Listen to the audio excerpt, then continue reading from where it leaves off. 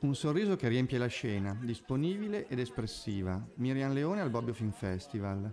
La luminosa attrice catanese si è concessa al bagno di folla del chiostro di San Colombano nella serata in cui è stato proiettato Il testimone invisibile, un thriller che inghiotte lo spettatore in un vortice di colpi di scena e tensione, sul filo della paura.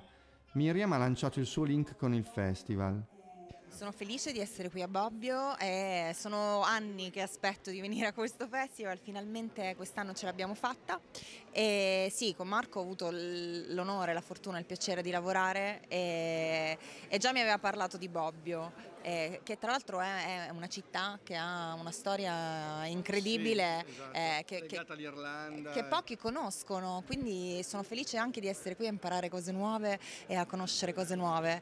E, mh, mm, presentiamo il testimone invisibile, ho visto già un po' di biglietti in giro, ho visto che avete staccato tanti biglietti e quindi eh, si respira una bellissima atmosfera qui al festival. A moderare l'incontro post-proiezione, nell'occasione è stato chiamato il critico cinematografico Anton Giulio Mancino, che ha rilasciato il suo personale punto di vista sul film.